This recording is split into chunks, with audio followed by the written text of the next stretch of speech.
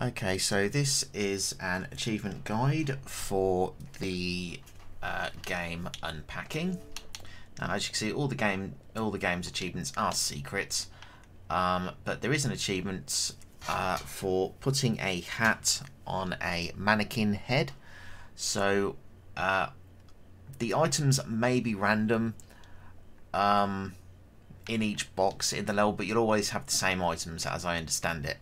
So once you find the green hats, uh, you'll want to move into this dining area and simply lob it onto this mannequin's head and it will pop the achievement right there once it does the envelope thing. There you go. And that is how you get the hat on head achievement for 60 gamer score. Thank you everybody, and I'll see you soon.